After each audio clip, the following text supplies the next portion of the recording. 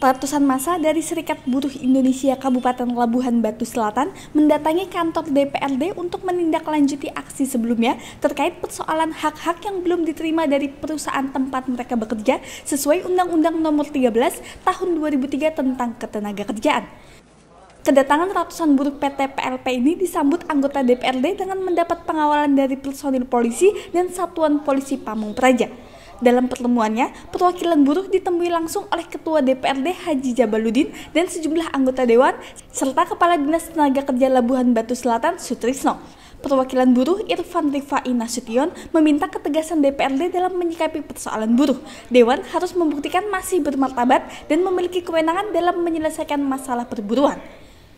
Sedangkan anggota Dewan Haji Zainal Harahap mendesak PT PLP Langga Payung untuk memenuhi tuntutan normatif buruh sebab hal ini adalah masalah kemanusiaan. Ferry Andika yang juga anggota dewan lainnya meminta Disnaker segera menyusun draft dan kajian untuk dimasukkan dalam anggaran PAPWD tahun 2019 tentang persoalan buruh dan serikat pekerja pada rancangan peraturan daerah.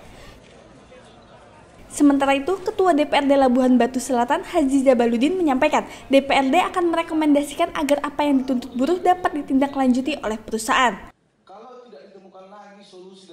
Dari Labuhan Batu Selatan, Tim Liputan Tribrata TV, salam Tribrata.